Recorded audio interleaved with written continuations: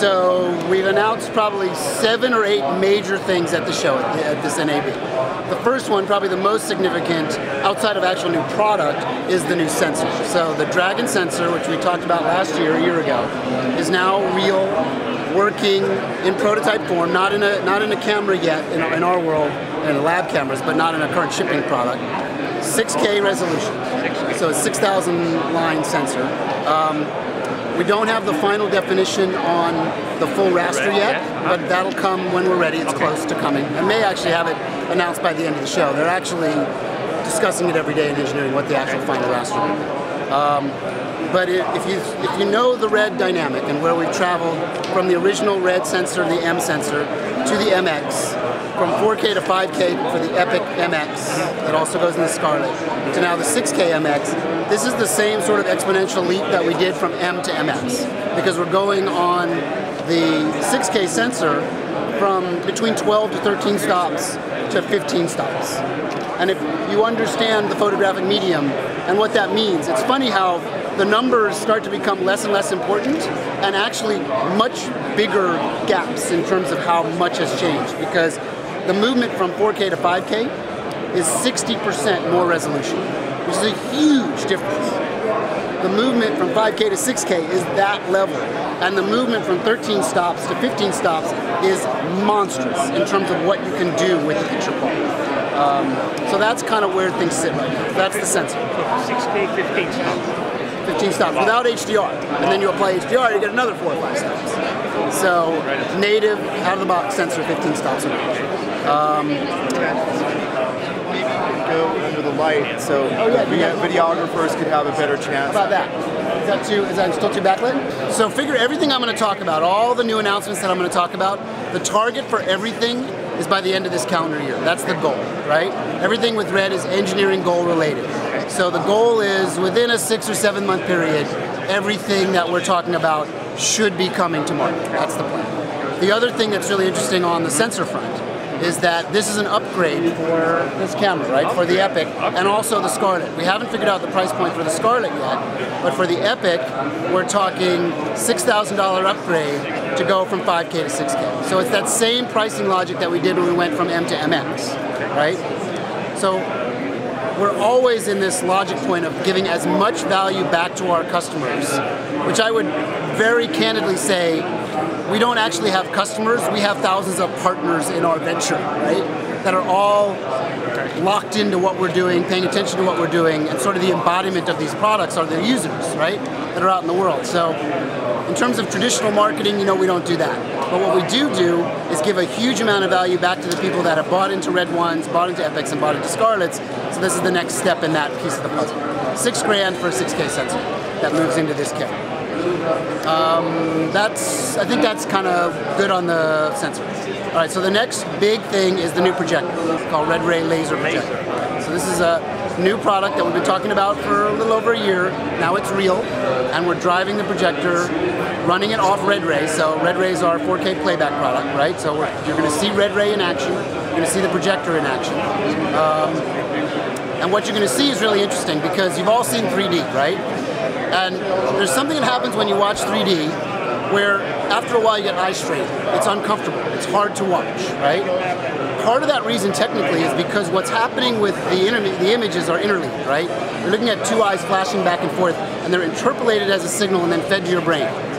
What we're doing is something fundamentally different with our projector. On top of the fact that it's laser light, so it's very low cost, very high efficiency, um, and you don't replace the bulbs per se because there is no traditional bulb, it's laser light.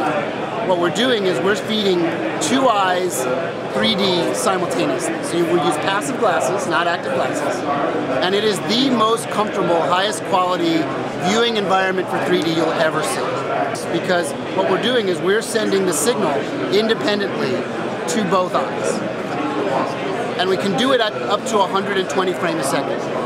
So this is not just a projector for today and tomorrow, this is a projector for into the future, just like everything that Red does, right?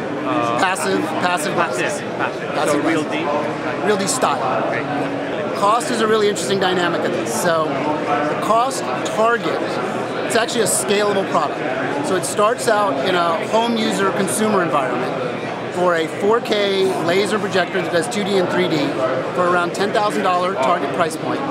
That will target to about a 15 foot screen.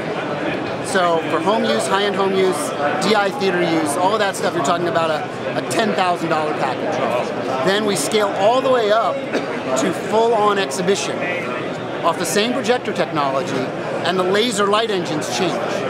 So we don't have price points set for how far it'll go, but you will absolutely use the same projector technology to drive a 10 to 15 foot screen as you will to drive a 50 to 70 foot screen. It's just the amount of laser light that you pump into this system. So that's the laser projection. Again, targeted for sometime this year. Driving it is the Red Ray player, which we don't have a target price point set for, but there'll be a number of variants of it. There's a pro version and a, and a consumer version, just like the projector system. And we're running 4K, visually lossless, you know, the, the experience is full on theatrical quality at bit rates lower than Blu-ray HD. That's the target. Working now, all running in the booth. So that covers projector and. Availability, It's all targeted into the year. I would say just keep all this stuff in a six-month window. Um, number three. Now let's hone in a little bit on, on some of the other sort of interesting things that we're doing, right? So you know we have the Canon mount that's out, and people have been using Canon and PL mount. We have a Nikon mount now, it's also a smart mount. Very, very inexpensive, $700 for the aluminum, and I think $2,200 for the titanium. So people that use Nikon lenses, we also have a Leica mount coming, a Leica M mount for that glass.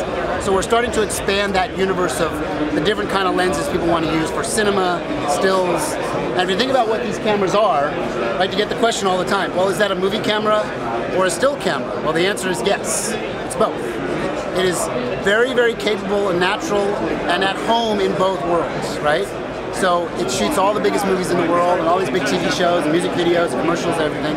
And now it's also being adopted in droves by still photographers that love the form factor and love the ability to get motion and still from the same device. So that's all happening now, right? It's all real life happening right now. Some of the interesting things, can I stand up? Is that okay?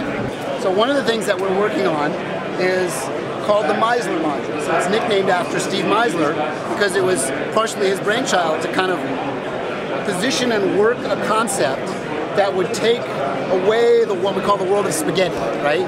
So in a typical cinema configuration, when you're running a bunch of wireless focus and, and all kinds of different options on the camera, you get all kinds of cabling and all kinds of jerry-rigged activity going on. And it's troublesome, right? So he was saying we should have a better mousetrap. If Red can design everything else so small and compact, why can't we design an integrated system to make this work better, this whole rigging system? So that's what this is. So it's this little piece that you see right here, this little box right here, attached to the back of the camera. It integrates wireless video, wireless audio, and full-on FIZ control. So for those that aren't in the cinema world, FIZ is the focus iris zoom control, right?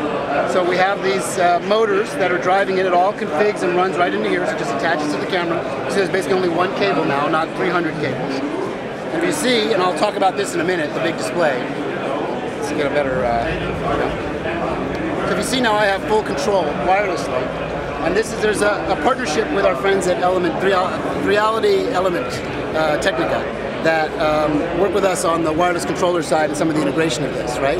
So it's their controller, their wireless controller. And if we had a zoom lens, we could also control the zoom range. So there's these sliders for all that kind of stuff. But this starts to make this more simple. Cost for this module is, I think, targeted at $13,000. Um, which if you understand that world and what that stuff actually costs pre-red, this is also a breakthrough from a cost uh, performance standpoint. So you got that going on. Now, there's another version of this that's much more simple, and this camera over here, I'll show it to you in a second, we'll go over there in a minute, that just does the wireless video. This has it all integrated. But there's another version that won't be, uh, won't cost as much as this, that will just do the wireless video. The other new thing that's coming is this. So this is a nine inch display. So the display is actually bigger than the camera, which is pretty interesting, right? It's also a touchscreen display. I control it touchscreen, right? I have all my options there. And the idea of this is it's very lightweight, it's very thin, right? And once you start to get used to a tool like this, you never even want to go back to a smaller display because I can really see critical focus, right?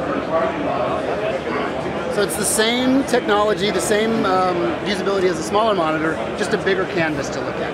And of course, it doesn't always have to be mounted on the camera. You can mount it low or back or whatever. So this is a coming soon. Uh, there is a price point for it. I don't exactly remember. I think it's in the, um, it's above three thousand dollars, with an OLED uh, display in there now. So this is again another very large improvement. The original eyepiece is still the best eyepiece on the market for any digital camera. It is so good that you think, well, why do you even need a better one? Well, trust me, when you see this compared to the old one, then you want this one because this is a whole nother leap forward, a much better display device. Blacks are deeper. Um, it's just it's just a better piece of technology. So we're also doing the same kind of logic on the upgrade path. So if you want this, you don't have to buy a new one if you already own one. You can upgrade this for I think it's twelve hundred dollars. The new one I believe is 30 3900 I think is the price point. On this one I have the Pro I/O module, right? So this gives us um, high-end audio, digital audio, four channels of AES audio. It gives us multiple um, HDSDI ports. There's the AES port to take out AES. And on the top here, you can see, so we have another monitor port, smart monitor port, right? So we can view two LCDs or an EVF and an LCD, whatever you want.